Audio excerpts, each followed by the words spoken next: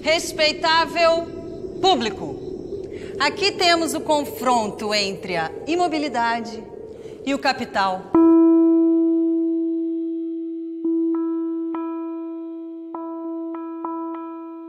Prefiro acreditar que o amor existe, que não é só uma simples palavra. Se isso te tranquiliza, Anda-se pelas ruas e o que se vê? É só pobreza, fome, violência. Não se tem mais no que acreditar. Talvez por isso as pessoas se escondam no casamento.